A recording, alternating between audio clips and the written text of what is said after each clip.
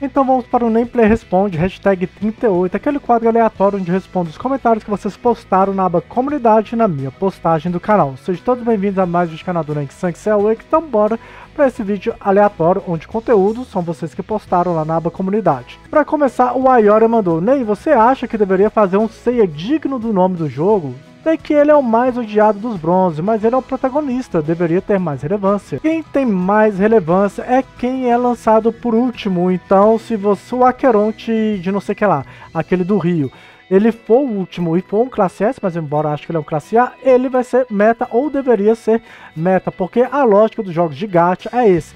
Sempre o último personagem ser meta. Imagina se o Arashi que fosse até hoje meta, imagina se o seu Divino fosse até hoje meta. O Ser Divino, quando lançou, ele era muito quebrado, era chique, era muito quebrado. O Shun Divino era insuportável, o Shuryu Divino até hoje, né? O Shuryu Divino tá rendendo aí no meta também. Então, o meta é esse. Se o Yoga, o Seiya Dourado chegar, possivelmente ele terá potencial de ser meta, mas possivelmente ano que vem ele não será, porque já vai ter lançado outros personagens e principalmente se for DPS, né? DPS, o meta roda muito rápido. O suporte, por ter estratégias mais peculiares, rende mais no meta, mas DPS, né? É difícil ver algum DPS durando muito tempo no PVP. O Ayakus do Lau mandou.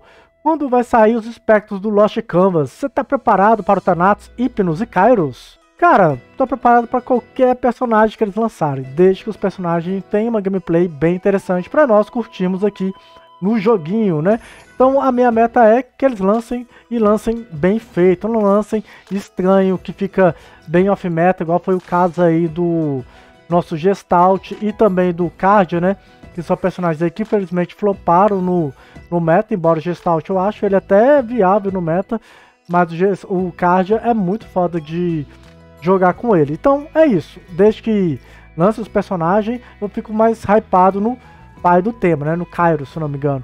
E ele sim por causa da estética dele diferente. Mas vamos ver. Lançou um Hypno no Thanatos no hype tanto porque é personagem que já tem no jogo e são meta. Então, né, eu tô com a GT nessa parte, né? Parar de lançar personagens com nome repetido.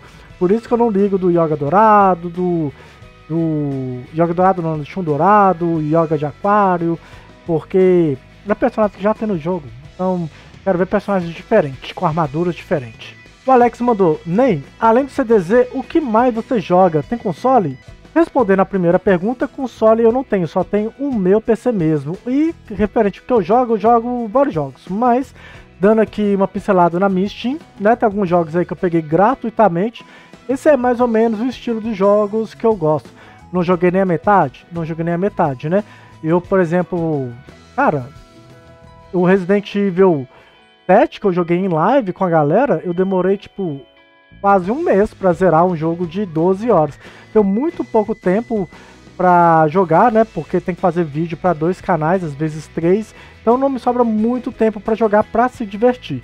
Né? Quando eu tenho algum tempinho, às vezes eu jogo em live, mas é foda, é foda. Mas isso aí é um panorama do que eu gosto. O Rodrigo mandou. Por que a GT não tá adicionando personagens na pool? Tem tanto que já poderia estar tipo Shura Sapuri, Gestalt, Aldeba Divino, entre outros não tão recentes. Cara, é estranho, né? A, esse lance da pool. Na pool é mais para manter a exclusividade mesmo dos personagens, manter assim, ah, jogadores principalmente novos, demorar quatro meses ainda ter personagens exclusivos de banner, né?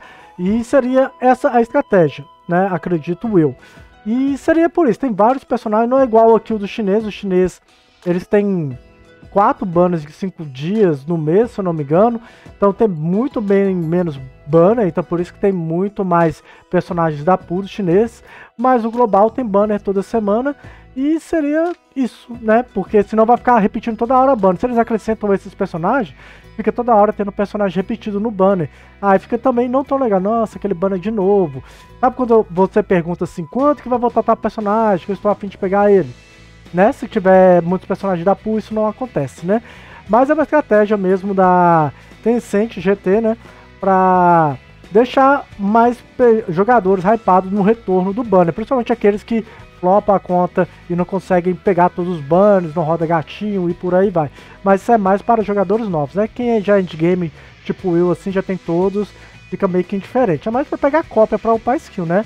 O Aldebaran que o diga, né? Tá precisando, só tem um treinamento até hoje. O Lucas mandou: Salve, Ney. Acho que ainda tem alguma esperança de algum dia vir algum personagem relacionado à mecânica de envenenamento que fique jogável, tipo sangramento. É um dos stacks que sinto que foi mais abandonado pela empresa desde o começo do game. Cara, eu acho que se for para algum boss, assim, seria o Afrodite Divino. É a minha única expectativa sobre envenenamento. Se o Afrodite não vir alguma vibe de envenenamento, aí tem um peixes também do. do como é que fala? Do Next Dimension. Poderia eles mesmos trazer, né? Podemos dizer assim, tipo o Wish que foi, né? Por ser classe A, então ele é nerfado. Causar dano extra em quem tem mais envenenamento, controlar quem tem envenenamento, pular a vez que tem envenenamento. Então tem várias mecânicas. É, é meio flopado, né? Diminuir o dano lá e tal. Mas tivesse algum bônus nesses personagens que aplicam envenenamento, seria da hora. E o Afrodite voltaria aí ainda mais forte pro meta, né? Já tá forte no meta o nosso mito Afrodite. E ele aplica envenenamento, para quem não sabe, mas no meta atual só tem o Afrodite também, né?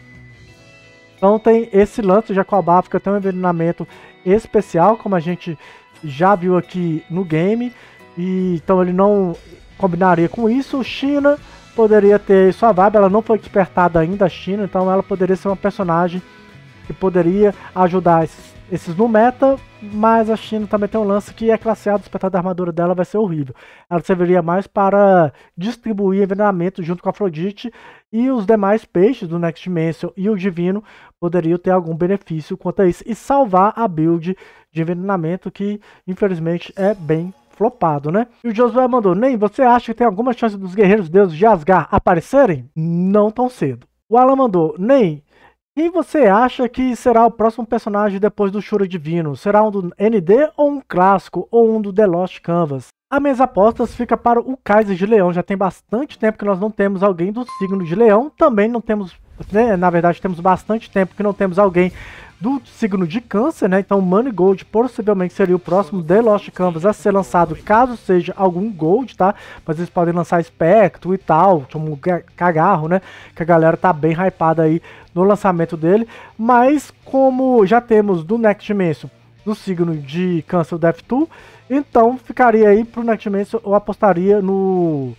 Nesse carinha aqui, ó. Qual é o nome dele? No Kaiser, tá? Porque é o que eu acho, né? De escorpião já tivemos recentemente, então para mim as apostas seria câncer, mas MDM divino não acho que vai ter esse ano. O Manigold eu acho que ele não vai ser o próximo personagem, quer dizer, ele pode ser, não é o próximo mais... Ele pode ser o Manigold, né? Lost Canvas ou Kaiser de Leão, do Nightmare, um dos dois. O Highlander mandou: É hora de começar a especular quem virá depois do Choro Divino. E aí, quais são os palpites? Será que vai vir Cavaleiro da saga clássica, Lost Canvas ou ND? Como eu já citei, L, é, Lost Canvas eu acho que vai ser o Money Gold, tá? E como Next Dimension, eu acho que vai ser o Kaiser de Leão. Então já tá respondido aí. Mas pra saga clássica, caso apareça algum personagem da saga clássica, as minhas apostas ficam para o Wiki de Leão. Já que eu acho que é o signo que tem mais tempo sem receber aqui do, dos bronze. Poderia ser algum bronze gold também, né? São os personagens que estão fazendo falta aí da saga clássica. Eu acho que seria interessante eles hyparem algum desses personagens até o fim do ano. Principalmente se for da sua versão Cavaleiro de Ouro, né? E aí seria o Wiki de Leão, porque o Yoga de Aquário tivemos o Camus Divino, né? No final do ano passado, então o Aquário já está em alta aí também.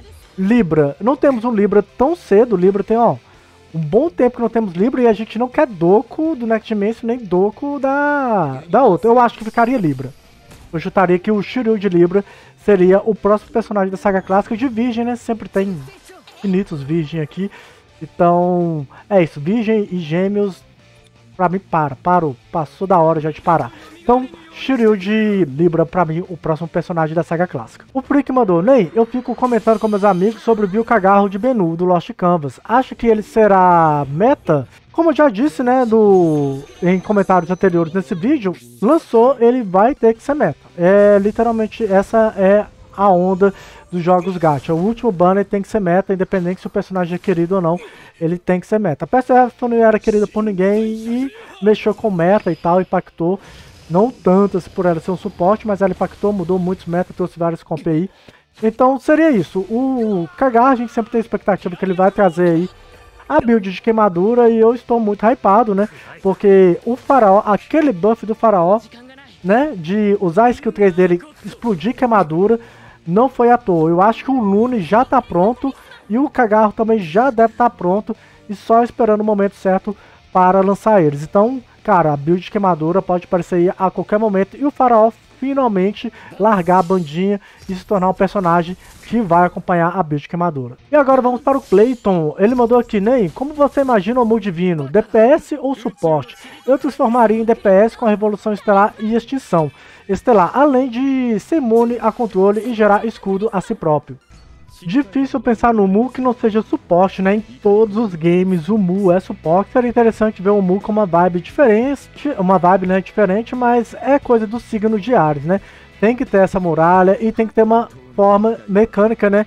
De tancar. Então o Mu, como vocês podem ver, todas as versões dele, até mesmo da exclamação de Atena, serve aí pra gerar é, cura ou gerar shield. Eu acredito que ele vai continuar nessa vibe, mas uma versão do Mu que nós não temos é Mu Controle.